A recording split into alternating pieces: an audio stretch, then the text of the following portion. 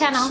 So today I wanted to do a makeup for like an everyday kind of situation. So I hope you guys enjoyed this tutorial and you like it. If you really want more tutorials like this please give it a thumbs up and let me know down below in the comments. Uh, don't forget to subscribe to my channel if you haven't already.